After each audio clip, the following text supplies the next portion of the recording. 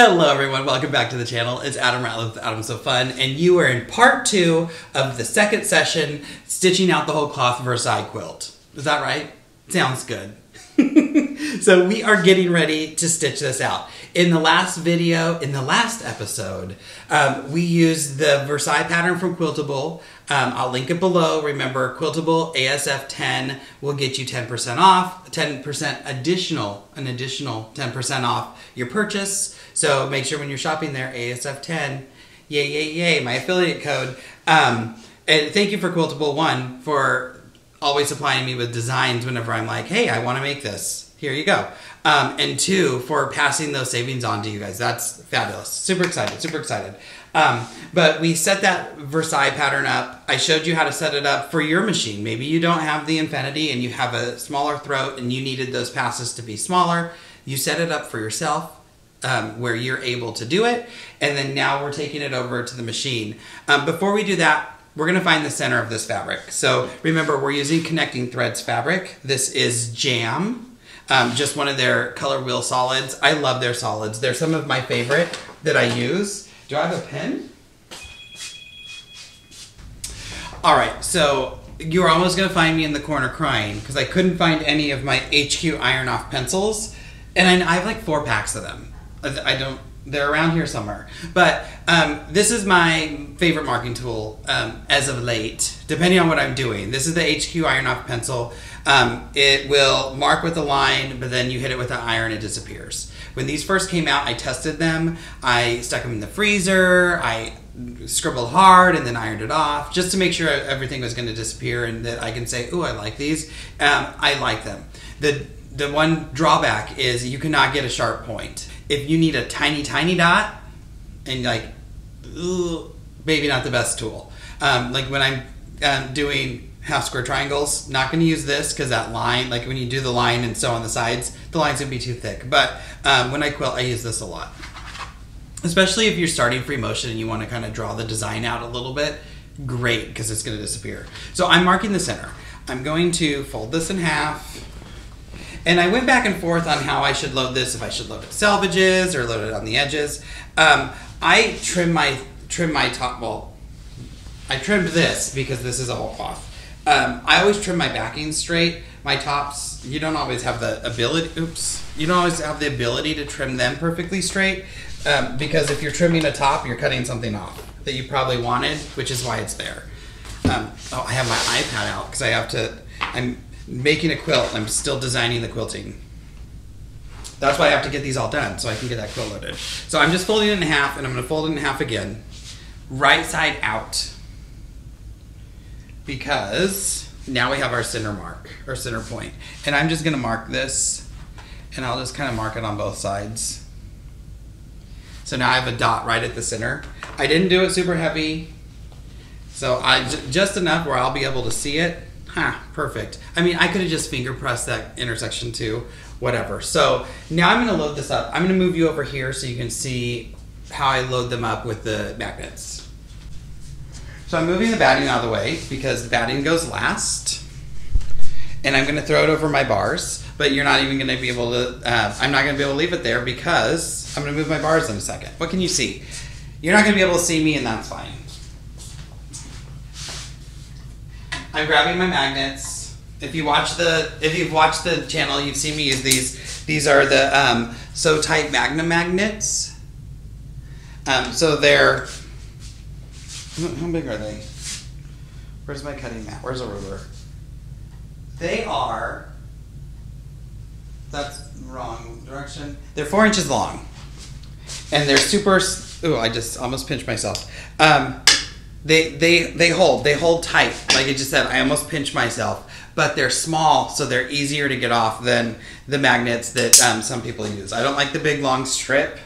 Uh, i've just i've heard some horror stories. Uh, i have my backing loaded with zippers so i've been using the zippers. I can't say enough great things. I love how flat this stays. Ugh, great. Um, i'm not worrying about marking my center in this case because I'm going to try to center it on my backing because it's only only as big as it can go, right? if I was loading it with my zippers, you know, I'd pin it right in the center and I'd mark the center and everything, but since this is gonna, it's not floating because I'm gonna put it on the bar, but let's see. So here's my top, and I'm just leaving it loose. I'm gonna move my batting like I just told you I had to. And put my ratchet down. I'm gonna make sure my leader is tight on this bar. I use, I also use SewTites. Um, if I were buying today, I would get the SewTites HD because they're also pretty strong. But um, I have these little ones out, so that's what I'm using. So these were just regular SewTites. I use these at the end of my leaders. Oops. At the end of my leaders, you can see one down here maybe. Um, and it holds the leader on the bar, like all wrapped up. I'm making sure this is tight all the way down. And putting my other magnet on the other side. You couldn't see that. Sorry. Okay, so I'll turn my leader and I want my I want my zipper right on the top. So now I have my zipper. I think I went one click too far. So I have my zipper here. And what I why I like my zipper here is that now I have an edge that I can line everything up with. So I'm going to bring my fabric over and line the fabric up with the edge of the zipper. And now I know everything's in line because I have that straight edge. Now I have my, my uh, magnet. Can you see? I'm to move you over like this a little bit because I want you to see what I'm doing. So it's lined up to the edge of the zipper. I put my magnet right here on the other side of those teeth because it also gives me gives it something to grip up against and gives me a visual of what's going on and where that magnet's going. So um, I have 10. This is only, uh, um, how big is this? 45. So I could probably use all 10. I probably won't. We're going to find out. So I'm going to make sure it's lined up and pop my magnet on. Pop, uh, jump over a few inches, magnet, and this is how fast I can load this using the zippers and the magnets.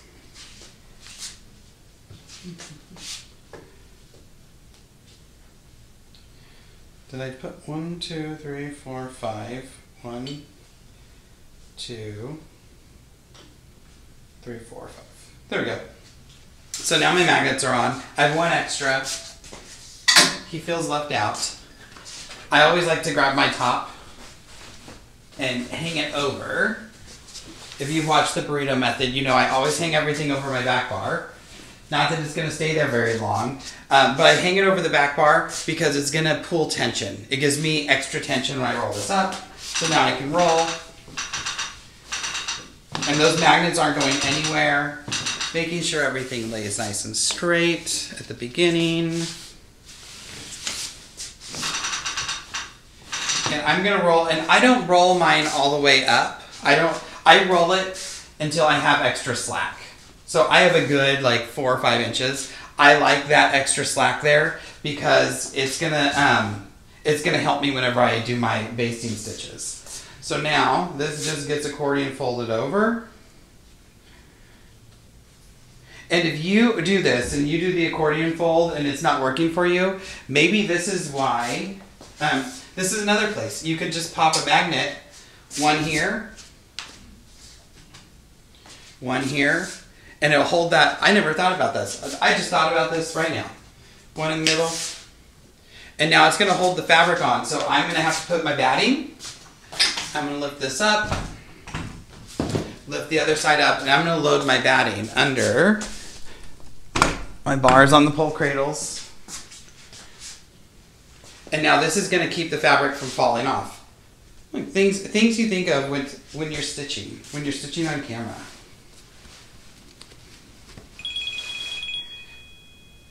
Ooh, I gotta take this call. Okay, it's been a very busy day so far. I'm getting lots of calls.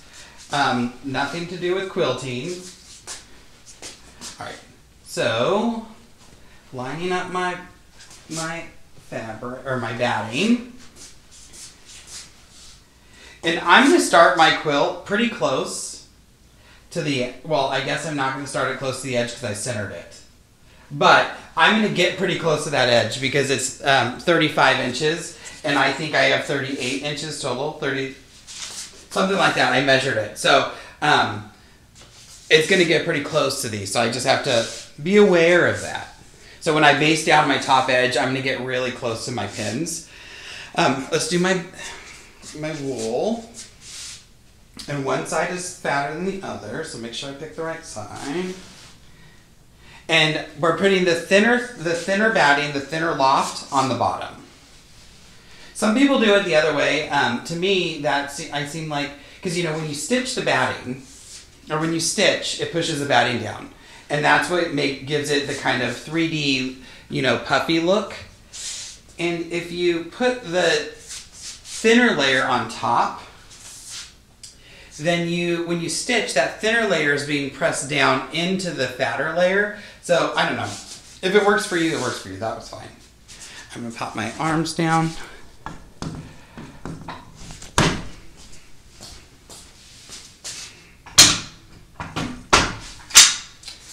and now i'm loaded using my um, my magnets so that's how I load with magnets. I'm gonna go, I'm gonna base down the top. So you have a video for this, how I base my top and everything. All of that's gonna be the same. So I'm gonna do my basting stitch, based, um, the sides of my quilt and base through the whole quilt. Cause I'm gonna, it, basically I'm basting it like it were a whole cloth, cause it is. And then I will see you here when all of that is done. All right, so here we are. Here's a beautiful taco. And we're getting ready to load up our thread. So the first thing, I've changed my needle because I went to the Superior Threads TOA guide. I opened it, it's on my computer.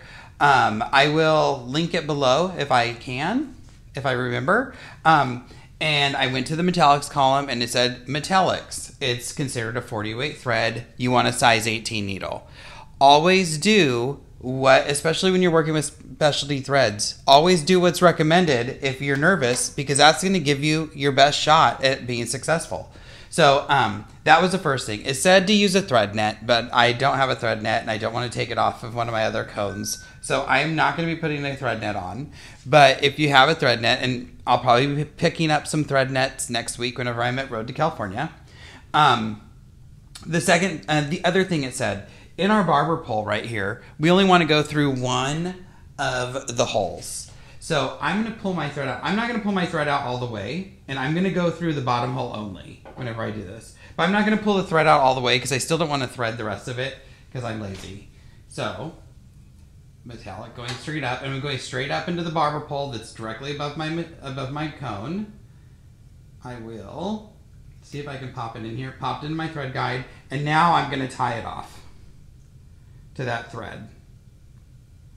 So I'm kind of skipping the rest of the threading process because I can tie this off. And now I can just pull it through like always, being careful that it just doesn't get all wrapped up like it just did. I'm gonna make sure that I can feel tension on it in the tension discs. I can. And then I'm gonna pull it down. Um, now, a thing with metallic thread, it doesn't like a lot of tension. There's a ton of tension on this thread through these discs right now. So I'm gonna go back and I'm gonna change my tension, which is currently at 27, and I'm probably gonna go down to like 15. I like that much better. And now I have my machine threaded with metallics. One barber pole, size 18 needle. That's what Superior says to do. Um, I do want to show you this too because um, I'm going to test my tension in a second. But I just oiled. I just cleaned and oiled my machine. And this is how much stitching I had to do before that oil kind of ran itself out and I was getting a good stitch before again. So you can see right here, like I can scratch these stitches and they're coming up. And it's not because it wasn't in the tension disc. It's not because it wasn't, um, tension wasn't good. It's because I just oiled it and the oil gets on the thread, makes those threads a little bit slippery. And then this is why that happens. So anytime you oil, I always stitch off to the side some. I'm threading my needle. The other thing about testing this tension right now is going to show me if I really like this color, these colors together. So you can see that.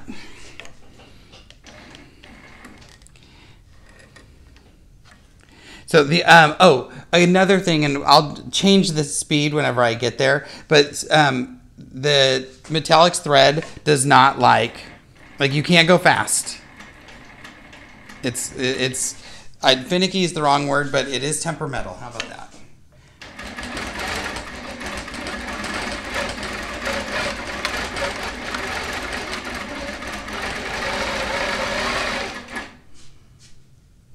It's sparkly and beautiful to me. I don't know if it is to you, but I think the tension is going to need to come up some. And the answer is yes. Let me make sure I'm still in that disc. All right, so I'm turning my tension up.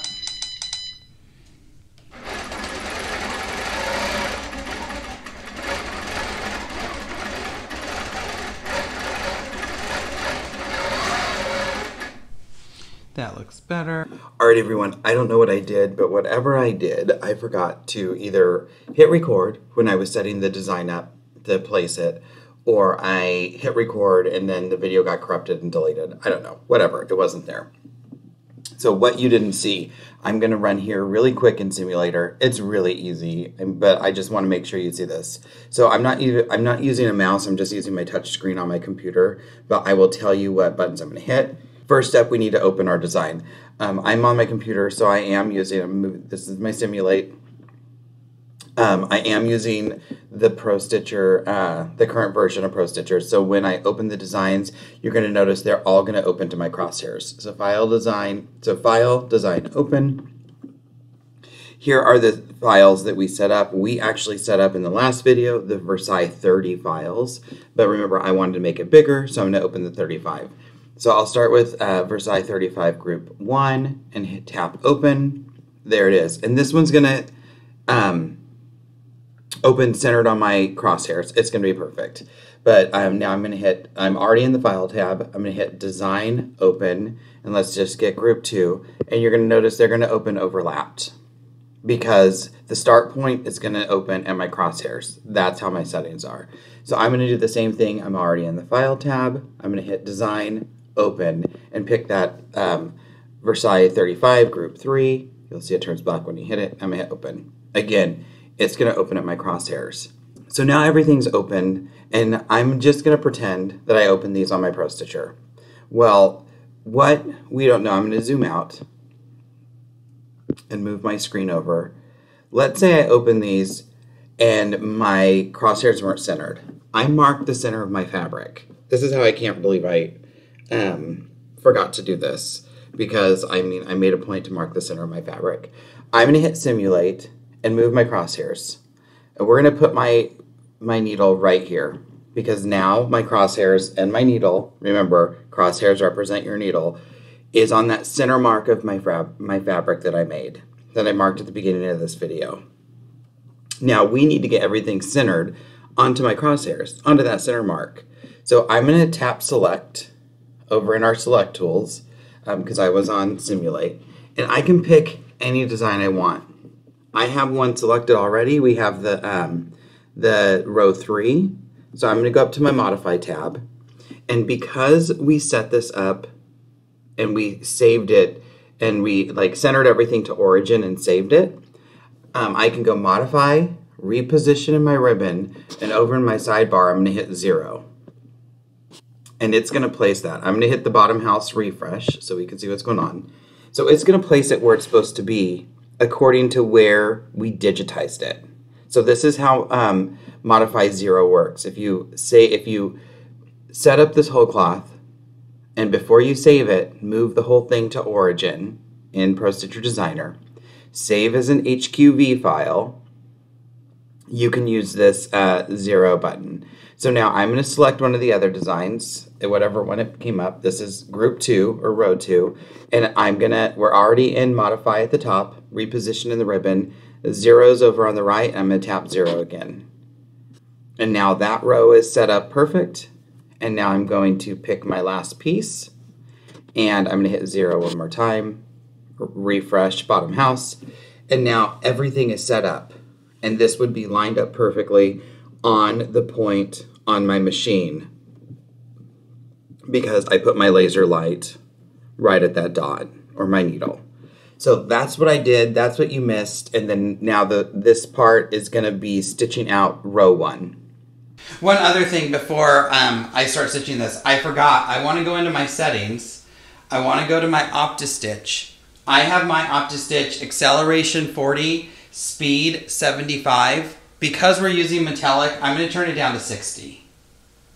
Just to go a little bit slower than normal because I don't want it to go too fast and break that thread. I'm not in a super big hurry, although I just told you let's race the clock kind of thing. But I'd rather not break thread than um, than raise the clock. So now I am going to make sure all my settings are correct. I only have the center um, design one selected, and I will hit run.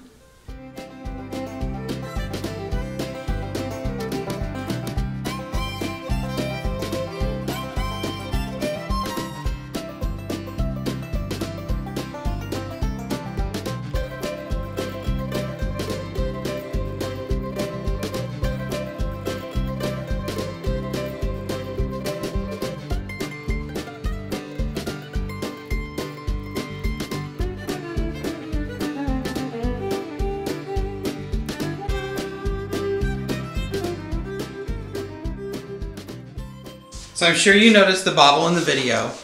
Um, I have a thread break right here. And it's something that happens sometimes when I use metallic thread. And if I tilt you up to look at the top of my machine, don't look at the screen because it's so dirty.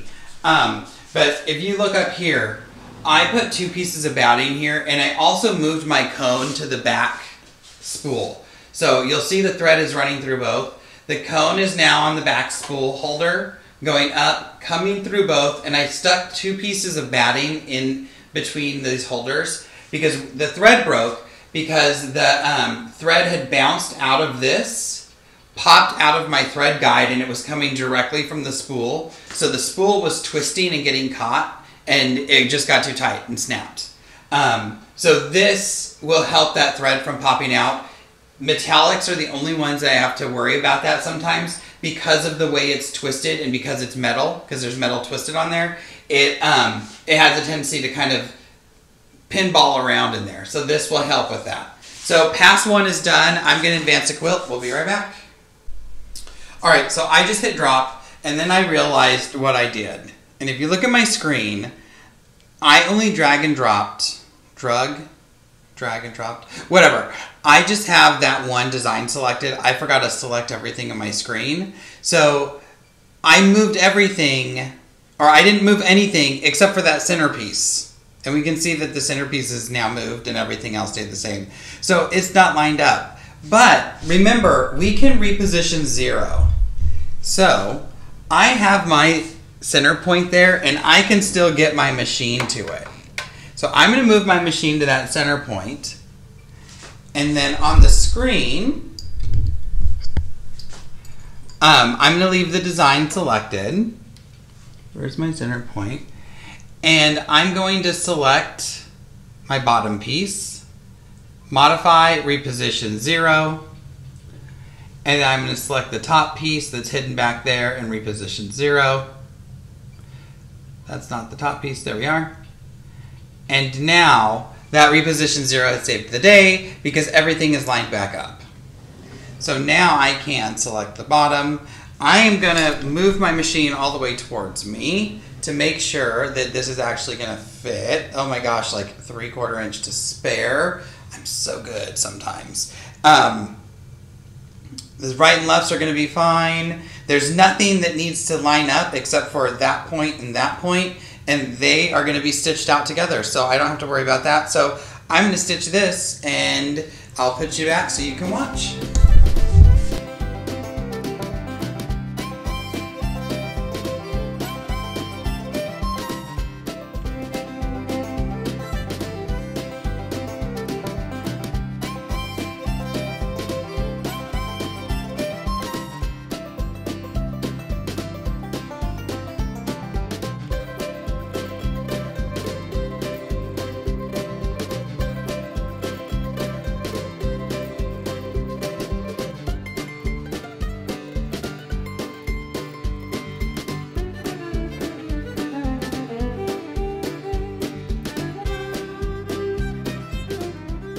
So I advanced here we are. I'm gonna hit refresh so we can see it big. Um, if I line something up, there's the top of this kind of circle. I'm lined up. And again, the nice thing about this design is that if things aren't lined up exactly perfect, how I'm doing it with my rows, because I'm able to stitch this all the way out, I don't have anything to line up. Everything has a buffer around it. I'll show you more when it's done. But I'm going to stitch out this section and then we're done.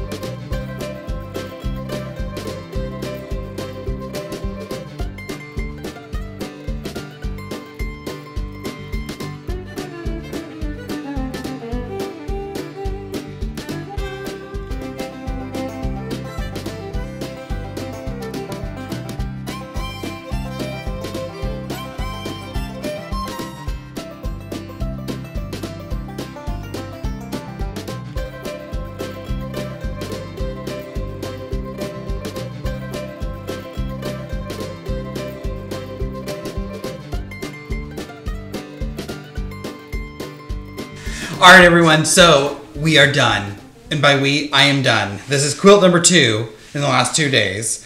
Um, whole cloth. Honestly, it did not take that long to stitch out. I started it at 11:58. It is now, I think, 1:58. But let me tell you, I took the dogs for a walk. Um, I got distracted many a times. Um, yeah, so it two hours, and that was with other things happening. Um, but seriously, look at this baby. I wish you can you can't see the sparkle that the metallic threads gives, but it's so just like shimmy, shimmy, shimmy, shimmy, shimmy. Um, I'll post pictures here. Um, and the back looks just as fabulous as the front. So I have a double whole cloth that if I thought about it, I could put something I really liked on the back so I could flip it around. But I don't know why you would want to flip it around and not see the beautiful metallic threads. So um, this is the Versailles pattern from Quiltable. Remember, ASF 10 will get you 10%, an additional 10% off your purchase. Um, we took it into Pro Designer, did our own layout, changed and picked our rows, made it exactly how we wanted to stitch it out. I brought it into Pro Stitcher, loaded it up, um, zippers on back, the quick zip system from the Quilting Connection in Wisconsin. If you want some zippers, call them up. They invented them. Um, so I loaded the zippers, uh, the backing on with the zippers. The top I loaded on with the SewTite magnets. Again, ASF 10 if you want to pick up some magnets. 15% off there. Um, fabric is uh, connecting threads and it is jam. I could just rub my hands on this all day. It feels so good. Um, Fabric is Jam by Connecting Threads, just one of their color wheel solids. And thread is Metallics by Superior, color the Violet N11. Um, two layers of batting. Uh, I was going to say 80-20 because that's what I usually use, but it's not. It's poly with the layer of wool that I found in a box. So there you have it. Versailles done. Now off to quilt number three. We'll see you all in the next video. And at the end of the day, it's just quilting. Don't forget to like, subscribe, hit the bell, and follow me on social media. Adam Sew Fun on Facebook and Instagram. Bye, everyone.